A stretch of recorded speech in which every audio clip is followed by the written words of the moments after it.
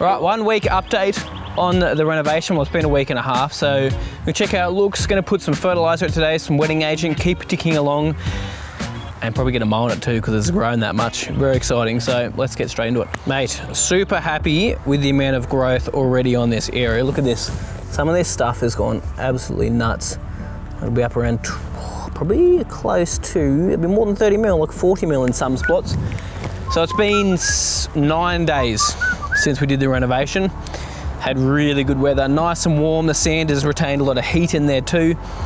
Really impressed with the results. Now we're at the point where it's a little bit patchy, as you can see. A little bit patchy, still some holes in some spots. We should really probably get a little bit more sand out to be honest, but I'm not too stressed if they close over. Doesn't really matter. As I said, I'm not worried too much about drainage here. I mean, and that's still gonna help with compaction and everything. But today you can see some parts are at that 40 mil, so we need to nip the top off before it gets too long. And when we go to do our first mow, it's gonna ski up because I wanna keep this Durant down around 10, 15 mil throughout the season. So we're gonna get a rotary mow in here today. Too much sand about for a real mower or a cylinder mower. So we'll nip the top off it. It's gonna help promote growth sideways and just make sure our first, like, we don't leave it to a point where it starts scalping. So don't be stressed. You can mow at this point, just don't get your cylinder mower out. Get a rotary mower out and get it done. But you probably even need to do the edges, look at this. She's growing. What the? Look at that. Man is in his natural habitat. Edging. You see him? Huh? Smile at the camera. See if you get a first pull. first pull, eh? Oh. That's all you need, one pull. Bro. do you reckon you can do it first time though? Oh, if I do everything properly. Like, yeah, okay. Like, give it a good prime. Prime it up. Choke it. oh! No, no, no, don't Ah! Because I didn't turn the choke off, wasn't it?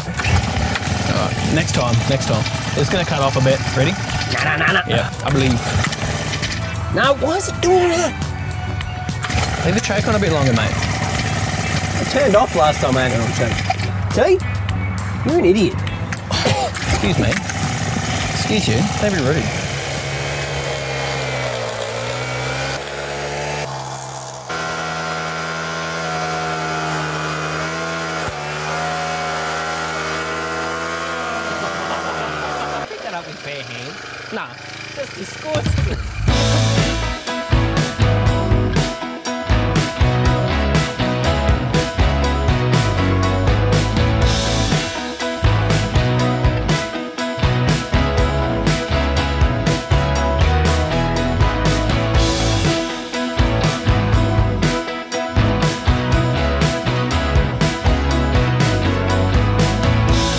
Beautiful.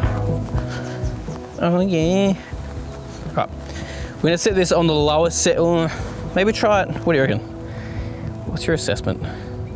I don't know. Okay, that's a good one. we could we could, we could start it and then go up to two, but it just feels like it's low. It looks. Nah, give it a go. Okay, just I'll, risk I'll, it for the biscuit, mate. It, I'll give it a go then. That's how we work. we just don't even give care. Give it a crack. You know, start it. You hold this in, press this button, and I'm wrong. Excellent. Just don't run the wheel over the edge, yeah. You'll be sweet.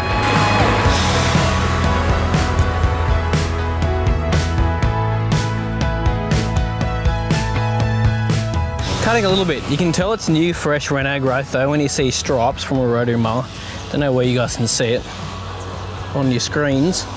No, you can. Look at that, light patch light stripe, dark stripe. Just because it's so lush. That's what I love about Reno growth, because the crowns are so low, it's got so much leaf to shoot up and grow. Just why Renos or high to cut resets with a scalp, really, really low on lawns is awesome because you get that nice, lush green growth that stripes easily, looks nice and fresh. It's just good to do a couple of times a year, you know? Just, I love it. I mean, this will be filled in, I'd say, in probably another week and a half. We should be close to being getting close to cylinder mowing, especially after doing a fert today and getting some wet agent out. A little bit of extra nitrogen, but mostly doing a fert today for the roots with my lawn tips mix and the microbes in there also, which are going to help just keep the nutrients in them, help all the, like even the granular fertilizer last a little bit longer.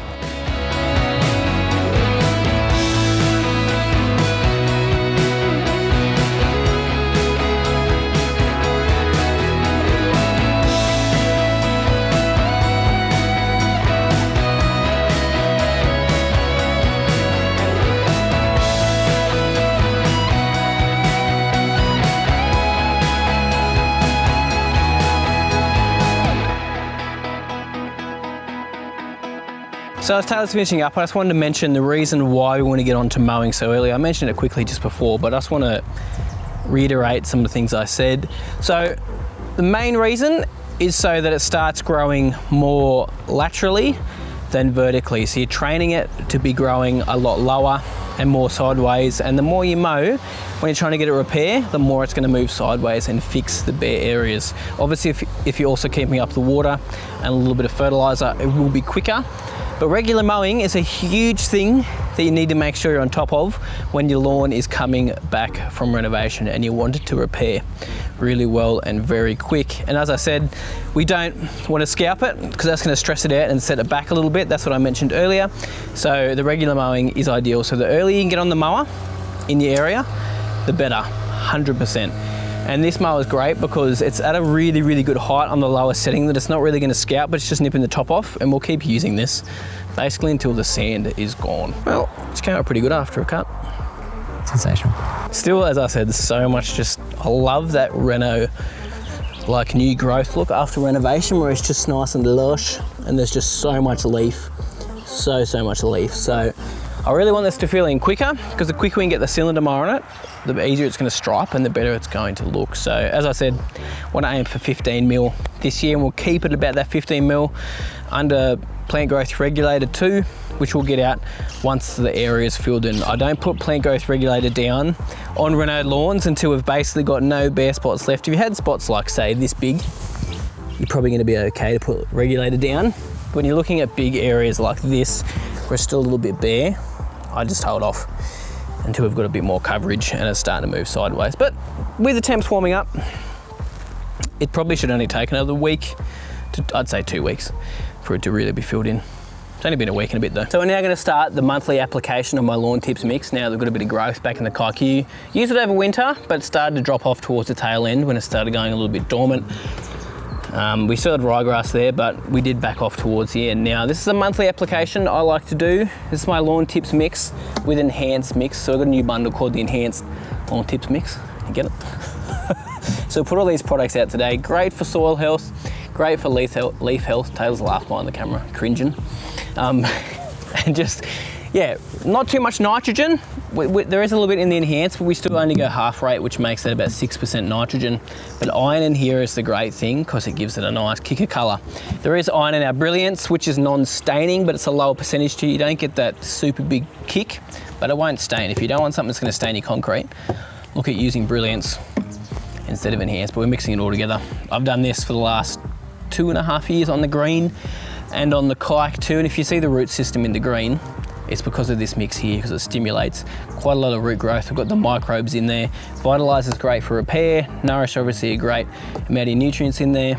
Same with Brilliance with the iron and the Enhance with the nitrogen and iron. So a great mix to use all around. If you didn't want to use all these products at the same time, you can apply them separately. You can choose one. If you're gonna choose one, I'd probably go the Brilliance for a great all-rounder, but we'll mix them all together today.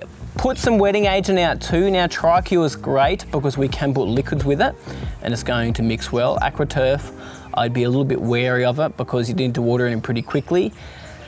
Um, so I tend to like applying that by itself or at least water it in straight away. We want to leave these on the leaf for an extended period of time because they are a foliar feed and then we'll water it in about 24 hours later. So put these all out, 200 mil per 100 square meters of each of these products. And we'll put the Tricure out at 100 mil per 100 square meters. Ah, you dog! now, another reason why I'm putting the wetting agent in there is to, one, obviously help retain a little bit of moisture in here, also stop it being hydrophobic. It won't be though, because I'm aerated. But another reason is because it really will actually help the liquids, like stick to the leaf a little bit better and be taken up. And we should get slightly better results when we put the Tricure out with our liquid fertilizer too. Not a crazy amount of difference, but will have an impact. Turn me on. Hey. So one thing with the sprayer, it does get an airlock every now and then. So have to take the wand off.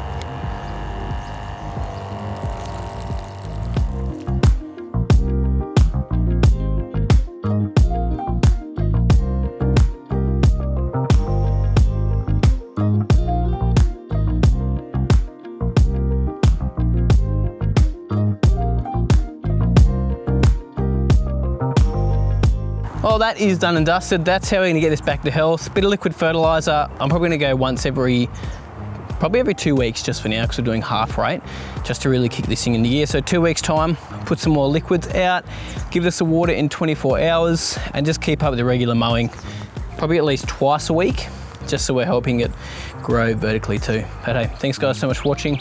Really appreciate it. Taylor's walking off. Say see you, mate. Come on. Lunchtime. See ya. Is it? it is too. All right. See you. Right, end of the video. I thought I'd just quickly come over here and give you guys an update because a few have been asking where we sprayed. It's pretty much all died out. Does need a follow-up spray. See? Bit of weed coming back through. So this is why we need to do follow-up sprays. So that's something Taylor and I probably get onto today or on Monday. Depends on how much we get done today. But look at the TifTuf, man. She's out of dormancy needs a cut. So next week we'll do an update on this, getting things prepped for sprigging really, very, very soon. But it's good to see color back in this. It's pretty much nearly completely at dormancy. A little bit of brown in there, but so many shoots. If we give that a cut, it's gonna look like really nice, probably stripe up really nicely too, brother. Look at him. Ooh, I we might accidentally scalp first mow, which is not great because it's already grown so much, but hey, it is what it is. We need to do a blanket spray, some bow and arrow on this area too, because there is weeds galore. Our spot spray, we should have done a blanket spray last time I put bow and arrow out. There's weeds everywhere. You know what? We might even go with some Lonhro, because we have got some ryegrass in here. So I might just Lonhro the whole area. Anyway, thanks guys so much for watching. Bye.